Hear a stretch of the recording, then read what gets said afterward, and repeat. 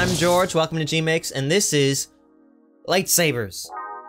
We're making lightsabers in Blender, we're just doing it. Uh, this is uh, using geometry nodes, so that's cool. Um, I really like it. It's uh, a nice method I found. Uh, you get a lot of control. Um, if you don't have After Effects, this is a great substitute for the Sabers plugin from uh, God, what's uh, the the the great the great people.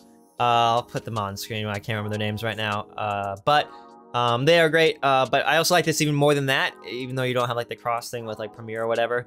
Um, but uh, you a little more control. I like how it looks. You actually get some realistic motion blur, which makes it look like it's an actual thing you're holding as opposed to just like a big white swatch of Photoshop paint on there. Uh, but also it gets you uh, still looking like you're holding a really hot laser sword as opposed to like a glowing LED stick. Um, so it's a nice mix of the worlds. There's a lot of customization. You can add a lot of stuff to this. You're of course in Blender, so you can make use of like the physics and everything past just a lightsaber. Uh, but anyway, I have a default Blender scene. We're going to delete that uh, light, and I'm going to pull up a new a new geometry nodes workspace. Because like I said, this is geometry node lightsabers. Um, all fun and games with the geometry node lightsabers. Uh, so we're going to go to uh, ba ba ba, geometry node editor, new. I'll name this like saber. Uh, and now we're gonna get rid of this default cube because uh, we're gonna switch it. We're gonna change it. We're gonna transform it, uh, metamorphosize it into a line, a curve, uh, curve line, right there. Boom, we got a curve line. I'll make this even like two, just for scale. There we go, curve line. We did it. Lightsaber. It's a stick. No, it's not. Uh, we actually want a cylinder using the curve line, so we're going to do the uh, curve to mesh. Pretty classic curve to mesh. And now we actually want this to have some body, want to be a mesh. So this profile curve, we will do a curve circle. And there we go. We could mess with the radius down here. Uh, but instead, we're going to, first of all, fill caps. Uh, second of all, we actually don't really need to fill caps because what we're going to do this cylinder, but, you know, posterity's sake. Um, we're going to add a uh, set curve radius. Now we got a really thin stick. Um, and now, I mean, we could do this, but if we just keep it like a cylinder like this, it's basically the same as taking that, uh, like taking a plane putting an emission texture on it and kind of tracing over uh, your footage, um, which is kind of what the After Effects plugin does. Um, and like you could tr just track with this tube and then you get the motion blur, but you know, it's got a flat top. Lightsabers, they're pointy um, at least the lightsabers I like are pointy or at least rounded on the end. So they're like a sword, they got a point. Um, so uh, we're gonna make that and give you a little control over what it looks like. Um, so we're gonna do that by using math um, and geometry nodes, which I guess are technically all math. Um, but for this radius, if we do a spline parameter. Spline parameter, switch this to length. We get a cone. Not quite what we want. First of all, also it's upside down, so we need a reverse curve. Uh, reverse curve. Um, we'll put that right there. Now we got a cone, kind of what we want, but we want kind of like a cylinder with a cone on top. Um, the reason we're not like instancing something is because as we move this around eventually, that instance will kind of more or less stay pointed in one direction because like we're not moving the geometry, moving the geometry nodes, and it's like different, so it's not the same. Anyway, this is easier, trust me. Um, so we have a spline parameter uh, using the length. And now we got our wonderful little cone. Uh, if we wanted to scale this, we could grab a math node uh, and change this to like multiply or divide. Uh, and now you can scale it, but you're just scaling the cone. That's not really want what we want. What we want, we want a cylinder with a cone on top. So we're going to use a minimum. And now it doesn't really look like much. We're still just scaling the cone. And that's because we got to resample this curve. So uh, you can do it before or after this reverse curve. Doesn't really matter right now or kind of in general. I'll do it after, um, just so I kind of get the order of operations here. We resample that curve. Uh, and look at look what it did. It made us a cylinder with some pointy stuff on top. We can change this value to 2 to fix uh, the thickness of this. Um, and now you have a choice here as the person making this lightsaber to uh, stick with uh, the count. Um, and I even like like to up this pretty high 20 or higher usually. Uh, up this count, so basically how many times this, this line is divided. But of course, it's saying as it gets divided more, it's the same number of divisions. It's just now longer, so there's wider gaps between them. Or you can use uh, length, which will say divide this line into this lengths of this this many segments, and then when you add when it gets longer, keep adding segments of that length when you can. Um, so it's a little more stable. You can see as we get longer, that point stays consistent. Um, the only thing possibly for using the count is you do get a little like foreshortening as you go down and wide, but we're going to eventually be able to scale this on both ends, both the top and the bottom. So eh, that's not really necessary. The I'm going to stick to length of 0.1. The default's pretty good for me. Um, but you can see as I go uh, bigger, um, that point gets more like sharp, which actually is a pretty good look. So maybe I'll actually keep that to like 0.2 or 0.3 rather. Um, because I actually kind of like a sharper point on my lightsaber. Um, but there we go. So we got it. Pretty darn good. That's what I think. Of course, this bottom value now, this minimum is changing like the, the width of it. Want, let's say that. So like, yeah, we got a pretty nice lightsaber. Pretty nice lightsaber. But we want to move it around. We want to track this lightsaber into our footage eventually. Um, so um, we want to be able to do that. So how are we going to do that? Well, we have this as a curved line and not a cylinder or something for a reason. Um, because you could take like a cylinder or a cone and then like shoot down the bottom face of it to get a very similar shape. Um, but we want to grab a couple empties. So we'll do empty plane axis. We'll just duplicate that, move it up on the Z. Uh, we'll name this one at the top. We'll name it top. Name one on the bottom. We'll name that bottom. There we go. Pretty, pretty straightforward. Uh, I'll just select both of those. I'll make a new collection that's named like empties. Uh, just because I don't want to render them. It doesn't really render them anyway because they're empties, but you know, just from my mind. And this way I can turn them off, both off really quickly. Just having them in a, uh, a nice little uh, collection. That's what they're called. It's a folder. It's a collection. Um, also, when we do get to uh, rendering this out and uh, whatever, we we might use view layers um, just for peace of mind, make things a little easier. Um, and this will help kind of separate where those are in conjunction with everything. Um, anyway, uh, we have our lightsaber body and we have these. But if we move these empties, let's say I go on here and I go to view, as I might do if I'm gonna like track this onto something, so I can move this around and like just match it to my footage. But look it, it's not moving. It's not connected. So back in geometry nodes, we are going to grab a uh, object info, object info, select, let's start with our top, and we're actually going to put our top onto the end, a little backwards. Uh, but, and then we're going to duplicate that, switch this to our bottom, uh, and put the location again onto the start. So now, when we move our top, the top moves, and we move our bottom, the bottom moves. Look at that. And because we have that set to length, as we stretch it, that point doesn't get any weirder. Um, uh, and now you can see also as we move this around without rotate, we don't have to rotate uh, this empty because uh, it's all in, it's, it's a line. So it's always going to follow and it's always going to be pointed in that direction. So we don't have to worry about rotating at all. Like if we rotate, nothing happens. Um, so that's really nice. That's kind of one step automatically that's already done for us. But we still want to be able to scale it. You see if I scale this right now, nothing happens. But like that's this is all a good setup if your lightsaber stays mostly on one plane. But what if I want to point it? What if I want to be like Mace Windu and go wah, um, and be like, uh, you are under arrest, yada yada yada, and then Anakin chops your hands off, um, or hand off. Uh, but what if I want to like point at the camera or someone, uh, or like it just it, I want it to be foreshortened. I want the top to be bigger than the bottom because that's what happens in real life. That's when I'm holding my stick and pointing it and like waving it around. That's how it's gonna look what I want to do is go back to your geometry nodes, always, uh, and do some more math. We love math. Um, so I'm going to duplicate this math node, Shift-D, uh, and switch it to multiply add. Um, so what this is going to do is the multiply, it, was it does what we saw before. It changes the bottom radius and makes it bigger and smaller. The add changes the scale or the addend in this instance changes the scale of the whole thing. It just keeps adding consistently across the whole board, except at the point where everything is like minimum. It doesn't add from there. So that's really useful for us. And that gave us two distinct things. One controls the bottom and one controls the whole thing. So we want to take this top scale into addend. the bottom scale into multiply, multiplier. And now if we add this up, we can see stuff happened. Uh, but that adds everything, and then this bottom one multiplies. It's you can't quite tell right now because we still have to do a little like finessing. Um, first things first, we actually want to do this over the length of the whole thing.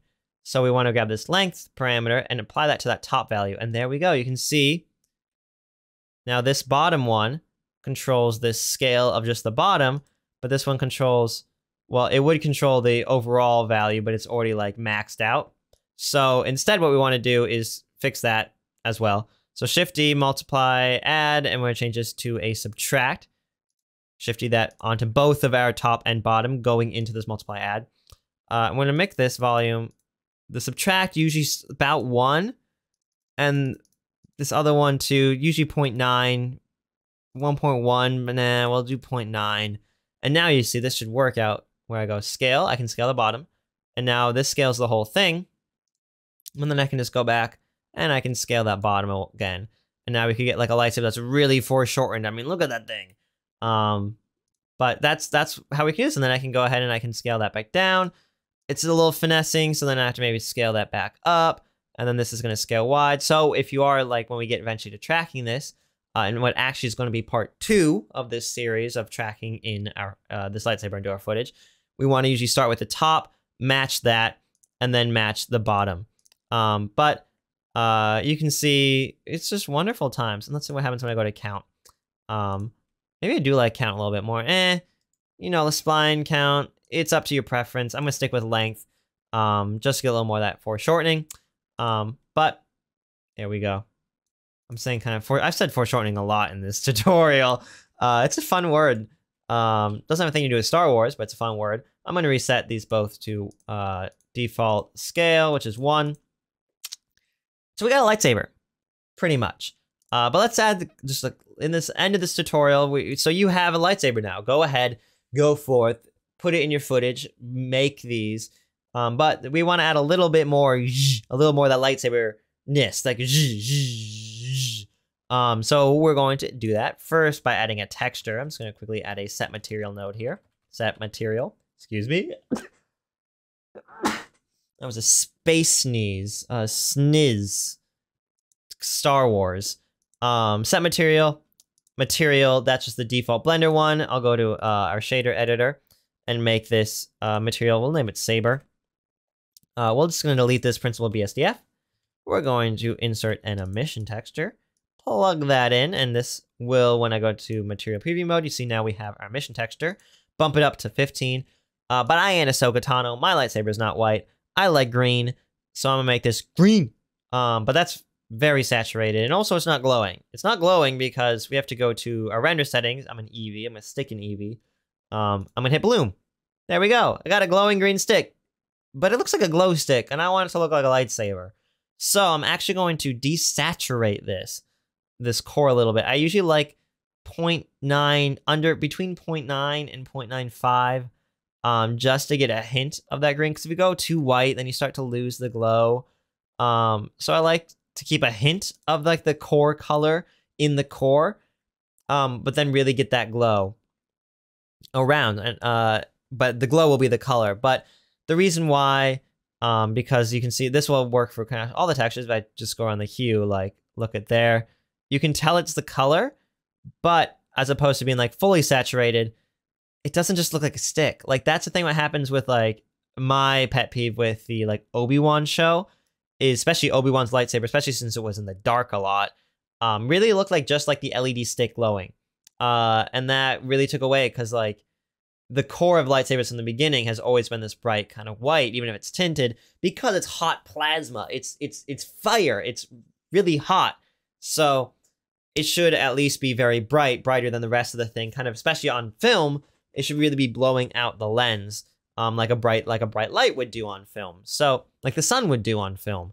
So uh, unless you're like ex uh, exposed for that, but then everything else should be whatever camera stuff. Um, but so I like this. I keep it slightly uh, desaturated, but pretty bright, the same color. We got a nice lightsaber, but it it's kind of still. One thing I really love about like the new Hope lightsabers, at least in the original version, I don't know if they changed it for any of the updated ones. Um, but also like the, but then also the new trilogy lightsabers and most of the TV ones is that they kind of crackle, they flicker. You can do that with the the shading. You can make the emission texture flicker, which I recommend.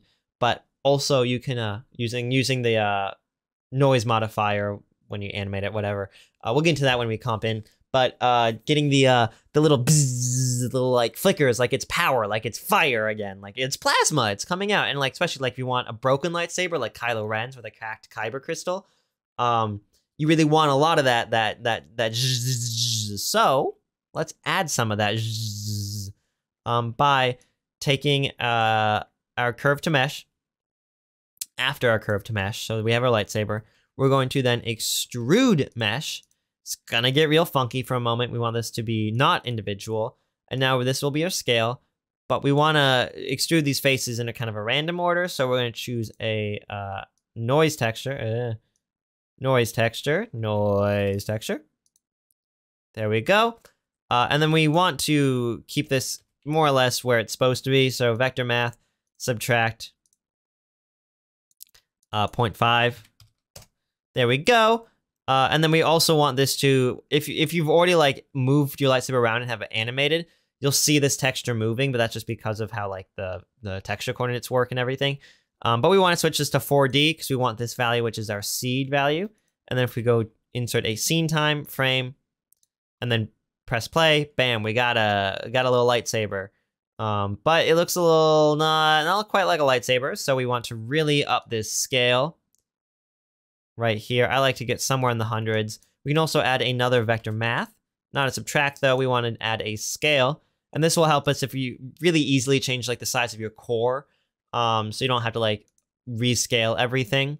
Um, if you want like a thinner core, a thicker core, it's not quite covering your blade, or you know you're gonna comp out your whole blade or whatever.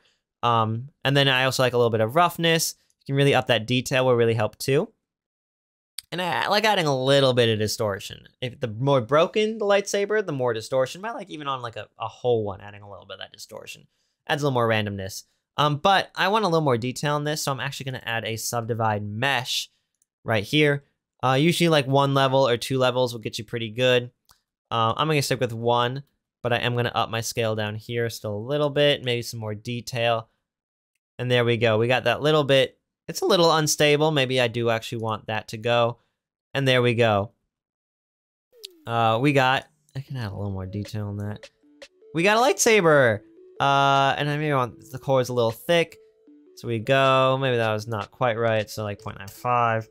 Uh, but there we go. We got a lightsaber. Woo, woo, woo. Um, and now, uh, yeah, that's it. That's that's the basis of how to make this geometry nodes lightsaber. So it's one that uh, we can get this little like crackling bits. Uh, we can again move it around.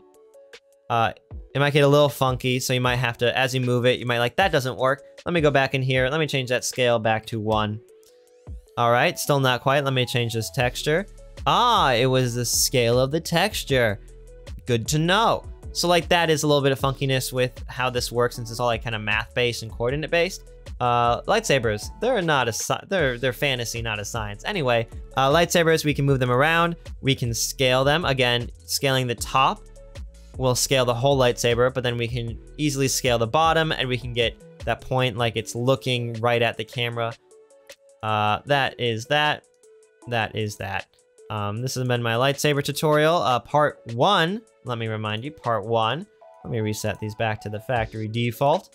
Um, the droid factory default. Ah, um, that's been part one of uh, how to make lightsabers in Blender. Uh, part two is going to cover the comping of these into a some footage, um, and then how to export them if you don't want to keep them in Blender, if you want to export them uh, to use in a different software so you can kind of mess around with them some more. Are we also going to add a little more finicky bits so mwah, give that little more detail, especially if you want that kind of crackly, broken lightsaber like a Kylo Ren, or just want to make something that's not like a standard Star Wars lightsaber, but kind of your own thing. Um, we're going to get into that as well, a little details you can add and stuff. So, uh, yeah, that will be in the part two of this video. Uh, and with that said and done, I'll uh, hope you learned how to make lightsabers from this tutorial. Hope you make something cool with it. Um, subscribe if you like this tutorial and to catch part two when that comes out pretty darn soon. Uh, leave a comment if you have any questions uh, have suggestions, things you'd like to see. Um, and I'll uh, catch you next time. Peace.